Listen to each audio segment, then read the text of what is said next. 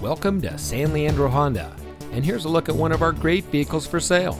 It comes equipped with premium synthetic seats, smart device integration, powerful and efficient turbocharged engine, driver monitoring, cross traffic alert, HD radio, leather steering wheel with auto tilt-away, auxiliary audio input, LED headlights, MP3 player, and has less than 35,000 miles on the odometer. San Leandro Honda has been in business since 1971 and is one of the most successful dealerships in the Bay Area. Our team wants our customers to feel like they are part of the family, so we strive to make the purchasing experience fun, easy, and fast, while also providing the best levels of customer service.